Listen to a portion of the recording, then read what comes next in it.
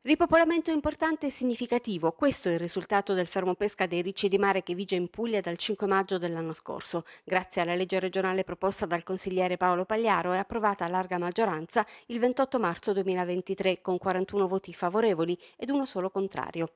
Uno stop utile anche per il ripopolamento di altre specie ittiche, perché la pesca intensiva dei ricci di mare comporta la riduzione del pesce costiero che se ne ciba. È utile anche per l'equilibrio del mare, vista la funzione di spazzini svolta dai Ricci.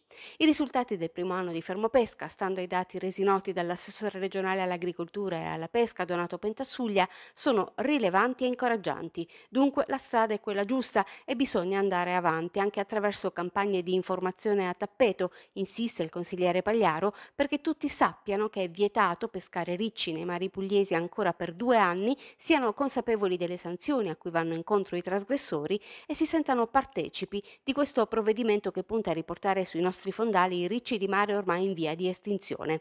Una legge che può diventare modello anche per altre regioni, per ridare vita non soltanto ai ricci ma all'intero ecosistema marino.